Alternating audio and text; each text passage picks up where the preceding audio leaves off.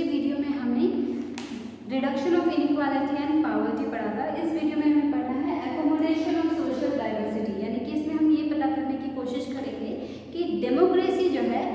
Social diversity को accommodate करने में सफल होता है सक्सेसफुल होता है या नहीं होता है क्योंकि कोई भी जो है कंट्री चाहे वो डेमोक्रेसी हो या अदर फॉर्म ऑफ़ गवर्नमेंट वहाँ पे हो कोई भी कंट्री आज के ज़माने में कोई भी कंट्री ऐसी नहीं है जहाँ पर डाइवर्सिटी नहीं हो किसी ना किसी मामले में कहीं ना कहीं जो है हर मतलब हर एक कंट्री में किसी न किसी मामले में हमें डाइवर्सिटी देखने को मिलती है चाहे वो धर्म के नाम हो कास्ट के नाम पर हो या फिर जो है भाषा के आधार पर हो किसी भी आधार से, कलर के आधार पर हो किसी भी आधार में हमें या किसी भी बेस पर हमें डाइवर्सिटी जो है देखने को मिलती है हर एक कंट्री में। और जहाँ पर भी डाइवर्सिटी होगी, वहाँ पर जितनी ज़्यादा डाइवर्सिटी होगी, वहाँ पर उतने ज़्यादा कन्फ्लिक्ट के चांसेस होते हैं। कन्फ्लिक्ट के चांसेस जो है, बढ़ जाते हैं जहाँ पर ज़्यादा डाइवर्सिटी होती है। तो वहाँ पर सोशल डाइवर्सिटी को एकोमोडेट करना, यानी सामंजस्य बिठाना डेमोक्रेसी जो है इसमें सक्सेसफुल होती है या नहीं होती democracy usually develop a procedure to conduct their competition this reduce the possibility of these tensions becoming explosive और वॉलेंट जो डेमोक्रेसी है, ऐसा तो है नहीं कि डेमोक्रेसी में कंफ्लिक्ट नहीं होते हैं। डेमोक्रेसी में भी कंफ्लिक्ट होते हैं डिफरेंट सोशल ग्रुप्स के बीच में या डिफरेंट जो डाइवर्सिटी जो होती है, या जो डिफरेंट सोशल ग्रुप्स जो होते हैं, उनके बीच में हमेशा जो है टेंशन या जो है कन्फ्लिक्ट होते रहते हैं। लेकिन जो है डेमोक्रेसी क्या करती है? वो एक ऐसा प्रोसीजर डेवलप करती है, जिसके थ्रू उनके बीच में जो कन्फ्लिक्ट हैं, उनको सॉल्व करने की कोशिश की जाती है रिड्यूस करने की कोशिश की जाती है, जिसकी वजह से वो ज़्यादा एक्सप्लोजिव या ज़्यादा वॉयलेंट नहीं हो पाते हैं। उससे पहले ही उनकी प्रॉब्लम को जो है रिड्यूस करने की कोशिश की जाती है या रिजॉल्व करने की कोशिश की जाती है। No society can fully and permanently resolve conflict among different groups. But we can certainly learn to respect these differences and we can also evolve mechanism to negotiate the differences. कोई भी society ऐसी नहीं है जो वहाँ पर permanently जो है एक बार जो है कंफ्लिक्ट रिजॉल्व कर दिया तो परमानेंटली वहाँ पे कंफ्लिक्ट जो है रिजॉल्व हो जाता है। लेकिन हम क्या कर सकते हैं? हम जो डिफरेंस है लोगों के बीच में, उसकी रिस्पेक्ट कर सकते हैं और इस तरीके का कोई मैकेनिज्म जो है डेवलप कर सकते हैं, जिसकी वजह से जो ये अंतर है लोगों के बीच में, उसको नेगोशिएट किया जा सके और उनके बीच में जो है एकोमोडेशन मेंटेन किया जा सके। Democracy is best suited to produce this outcome. Non-democratic regime often turn a blind eye or to suppress internal social differences. Ability to handle social differences, division and conflict is thus a definite plus point of democratic regime. जो democracy है वो इस मामले में पूरी तरह से successful होती है क्योंकि वो क्या करती है डेमोक्रेटिक गवर्नमेंट में अगर डिफरेंट सोशल ग्रुप्स के बीच में कोई कंफ्लिक्ट होता है कोई लड़ाई है तो डेमोक्रेटिक गवर्नमेंट उनको सॉल्व करने की कोशिश करती है उनको सोल्यूशन प्रोवाइड करने की कोशिश करती है ताकि उस टॉपिक पर दोबारा उनके बीच में कोई लड़ाई, कोई कंफ्लिक्ट ना हो और उनके बीच में एकोमोडेशन मेंटेन हो सके। लेकिन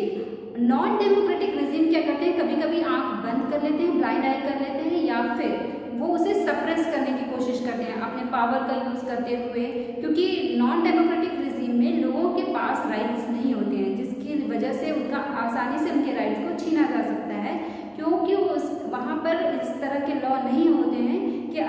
आपसे आपका राइट छीना जा रहा है तो आपका विरोध कर सकें और अपने राइट्स को पा सकें। जबकि डेमोक्रेसी में ऐसा होता है कि अगर हमसे हमारे राइट्स छीने जाते हैं तो हम उसको विरोध कर सकते हैं और अपने राइट्स को दोबारा पा सकते हैं। लेकिन नॉन डेमोक्रेसी में ऐसा नहीं होता है, जिसकी वजह से नॉन डेमोक्रेटिक गवर्नमेंट जो है आसानी से लोगों को सप्रेस कर देती है, आसानी से जो है उनकी जो लड़ाइयाँ कन्फ्लिक्ट होती है, वो पावर का यूज़ करते हुए उनको सप्रेस कर देती है, उनको सोल्यूशन प्रोवाइड करने की कोशिश नहीं करती उनको सोल्यूशन प्रोवाइड नहीं किया जाता है, जिसकी वजह से ये कन्फ्लिक्ट कुछ देर के लिए तो शांत हो जाता है। लेकिन सोल्यूशन ना मिलने की वजह से फिर दोबारा उस टॉपिक पर लेकर उनके बीच में जो है कन्फ्लिक्ट होते रहते हैं और इस तरीके से उनके बीच जो डिफरेंट सोशल ग्रुप्स हैं उनके बीच में जो कन्फ्लिक्ट हैं वो लगातार जो है चलते रहते हैं नॉन डेमोक्रेटिक रिजीम में क्योंकि वहाँ पर उनको सॉल्व करने के लिए या उनको कोई सोल्यूशन प्रोवाइड नहीं किया जाता है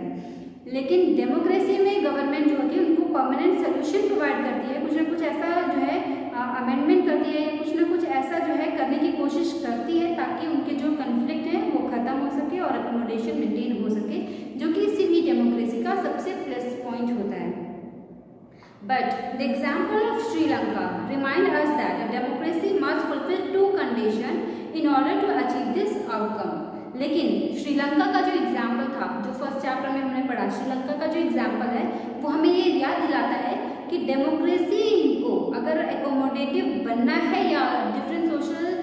जो है ग्रुप के बीच में एकोमोडेशन मेंटेन करना है तो उसे दो चीज़ें अपने दिमाग में रखनी होंगी। जो डेमोक्रेटिक गवर्नमेंट है, उसे दो चीज़ें सबसे पहले अपने दिमाग में रखनी होगी। अगर वो एकोमोडेशन मेंटेन करना चाहती है तो सबसे पहला it is necessary to understand the democracy is not simply rule by majority opinion जो गवर्नमेंट है, उसको ये समझना होगा कि डेमोक्रेसी का मतलब सिर्फ़ रूल ऑफ़ मेजोरिटी ओपिनियन नहीं होता है। Majority always need to work with minority so that government function to represent general view majority and minority opinion are not permanent जो है, जो डेमोक्रेटिक गवर्नमेंट है, उसे इस बात को ध्यान में रखना होगा कि डेमोक्रेसी यहाँ पर क्या होता है, जो अपनी मेजोरिटी प्रूव कर लेता है, वो अपनी गवर्नमेंट फॉर्म करता है डेमोक्रेसी में। लेकिन मेजोरिटी प्रूव करने का मतलब यही नहीं कि सिर्फ़ मेजोरिटी वाली जो कम्युनिटी है, वही बार बार अपनी मेजोरिटी प्रूव करती रहे और सिर्फ़ मेजोरिटी वालों के ओपिनियन ही गवर्नमेंट फॉलो करती रहे, सिर्फ़ मेजोरिटी वाले के जो है बेटरमेंट के लिए या सिर्फ़ मेजोरिटी वालों को ध्यान में रख के, उनके इंटरेस्ट को ध्यान में रख के गवर्नमेंट रूल अगर करती है तो डेमोक्रेसी में एकोमोडेशन मेंटेन नहीं गवर्नमेंट को ये समझना होगा कि रूल ऑफ़ मेजोरिटी का मतलब ये नहीं है कि सिर्फ़ मेजोरिटी के जो है फ़ायदा किया जाए। उसमें माइनॉरिटी वालों को साथ में लेके चलना पड़ता है माइनॉरिटी वालों को निगलेक्ट नहीं किया जा सकता या निगलेक्ट नहीं करना है। उनको साथ में लेकर ही गवर्नमेंट को काम करना है, ताकि दोनों के बीच में एकोमोडेशन मेंटेन रहे अदरवाइज़ माइनॉरिटी वाले अपने आप को निगलेक्टेड फील करने लगेंगे और फिर कन्फ्लिक्ट होना ज़रूरी है कन्फ्लिक्ट होगा ही सेकेंड जो दूसरा पॉइंट है जो गवर्नमेंट को ध्यान में रखना होता है it is also necessary that rule by majority does not become rule by majority community in term of religion और रेस और linguistic group etcetera rule of majority का मतलब ये नहीं है गवर्नमेंट को ये जानना होगा ये गवर्नमेंट को ये ध्यान में रखना होगा कि रूल ऑफ़ मेजोरिटी का मतलब ऐसा ना हो जाए कि, कि कोई पर्टिकुलर जो है चाहे वो भाषा के आधार पर हो रेस के आधार पर हो धर्म के आधार पर हो कास्ट के आधार किसी भी आधार पर सिर्फ़ मेजोरिटी कम्युनिटी वाले ही अपनी मेजोरिटी प्रूव करते रहे और गवर्नमेंट फॉर्म करते रहे। ऐसा ना हो। जो माइनॉरिटी वाले हैं, उनको भी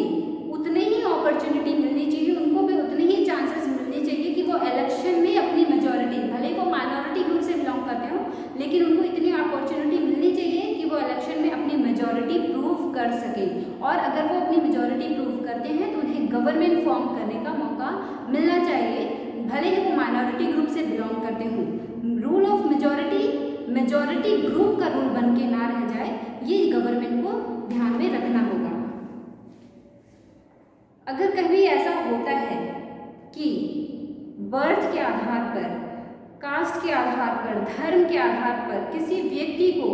मेजॉरिटी प्रूव करने से रोका जाता है या उसे जो है उतनी अपॉर्चुनिटी नहीं दी जाती है तो इसका मतलब है कि वो डेमोक्रेटिक रूल को सीज कर रहा है डेमोक्रेटिक रूल के खिलाफ है और इस तरीके से एकोमोडेशन मेंटेन होना पॉसिबल नहीं है। तो अगर गवर्नमेंट चाहती है कि किसी भी कंट्री में एकोमोडेशन मेंटेन हो डिफरेंट सोशल ग्रुप्स के बीच में तो उन्हें इन दो पॉइंट्स को अपने दिमाग में रखना ज़रूरी है। That's all in this video thank